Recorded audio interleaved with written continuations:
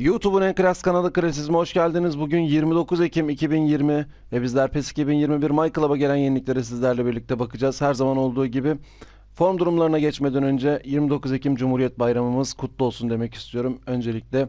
Ve başlayalım. Form durumu yükselişte olan oyuncular birinci sayfası, ikinci sayfa, üçüncü sayfa, dördüncü sayfa, beşinci sayfa, altıncı sayfa ve yedinci sayfa. Form durumu düşüşte olan oyuncular. Birinci sayfa. Messi dikkat çekiyor. İkinci sayfa. Üçüncü sayfa. Ve dördüncü sayfa ilerliyoruz. Ee, ikonik Arsenal oyuncuları geldi. Birazdan bakacağız. Ve diğer bildirimler ve haftanın öne çıkan oyuncuları. 40 My Club parası da geldi benim için. Benim için My Club parası önemli çünkü e, top açılımlarında biliyorsunuz çok şanssızım. Bu şanssızlığın daha fazlası ne olabilir? Şu olabilirdi. Elimdeki coinslerle top açılımı videosu hazırlarken sizlere Ronaldinho'yu bulamamak, üzerine videoyu da kaydetmemiş olmak. Yani ben kamerayı açtım, 15 dakika konuştum, topları açtım, Ronaldinho çıkmadı, üzüldük ettik. Bunun top açılım videosunu sizlerle paylaşacaktım fakat video kaydı almadığımı fark ettim. Dolayısıyla hem coinsler gitti hem sizlere sunacağım bir top açılımı videosu gitmiş oldu. Maalesef coinsleri sıfırladık. Dolayısıyla artık e, bundan sonra top açılımı videosu benden kolay kolay beklemeyin diyelim. Hatta kolay kolay değil hiç beklemeyin diyelim. Herkese bir Ronaldo kampanyası e, kapsamında Ronaldo da geldi. Şimdi önce online bilgiye bakalım daha sonra temsilcilere sizlerle birlikte bakacağız. 29 Ekim ikonik moment Arsenal bakacağız. Player of the Week'e bakacağız. Ranking Challenge neler var kısmındadır. Juventus Anniversary Campaign, Campaign nasıl okunuyor? Üst üste 9. kez şampiyon olan Juventus. Evet, evet, evet Ronaldo'yu vereceğiz diyor. Ee, 4 Kasım'a kadar giriş yaparsanız bir kere sizlere Ronaldo verecek. Ve pazartesi günü gelecek öne çıkan takımlar ise Lazio, Juventus, Manchester City ve Liverpool olarak görünüyor. Ee, bu da şimdiden söylemiş olalım pazartesi günü için. E-Futbol Lig 20-21 Aralık ayında başlıyor. Ee, bununla ilgili detaylı bilgi daha sonraki videolarda veririz. Bilgilendirme burada mesajda da var. Şimdi temsilciler diyelim. Özel temsilci diyelim. Görüyorsunuz %100 Ronaldo herkese verilen hediye ki zaten bende vardı geçen gün takasla aldım. Benim için ve birçok kişi için ifade etmeyen, hiçbir anlamı olmayan bir hediye aslında. Boş bir hediye diyebiliriz şimdiden. Bir mor kartını falan verse daha iyi olurdu. Player of the Week'e bakalım öncelikle. Hangisi iş yapar, hangisi yapmaz hızlıca söyleyelim. Lewandowski ile ilgili görüşlerim aynıdır. Kötü diyemiyorum ama hızı nedeniyle iş yapmadığını düşündüğüm bir oyuncu. Lewandowski. Ramos oyunun en iyi stoperlerinden biri olacak kuşkusuz. E, tartışmasız diyelim. Schmeichel e, yani orta seviye kalecilerden biri. iyi diyemem. David Silva'nın iyi olduğunu düşünmüyorum ben oyunda. Hız falan yerlerde zaten. Castrovilli 34 seviye oluyor. E, son seviyede belki iş yapabilir. Yani hızı hızlanması çok aşırı kötü durmuyor diğer göbeklere göre.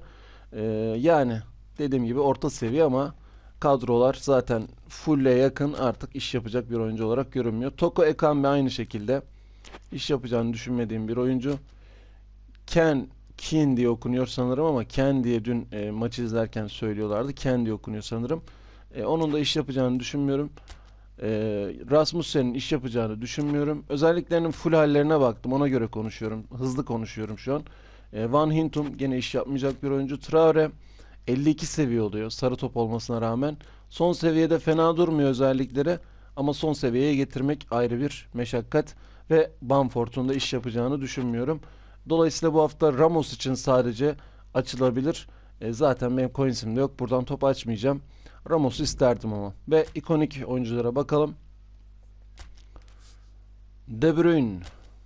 De Bruyne e, mevcut. Vieira zaten oyunun en iyi dostlarından biri olacak. Van Dijk oyunun en iyi stoperlerinden biri. Her ne kadar normal kartı da olsa iş yapıyor.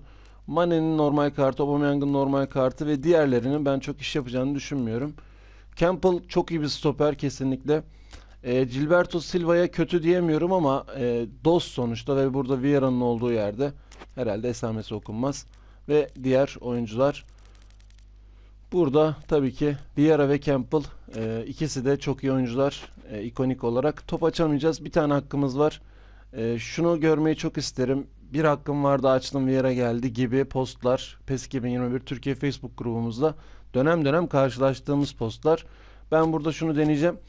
Denedikten sonra e, Ronaldinho ile ilgili top açılımı ile ilgili bir şeyler söyleyeceğim. Evet yani bizde öyle bir şansın olmadığını zaten söylemiştim.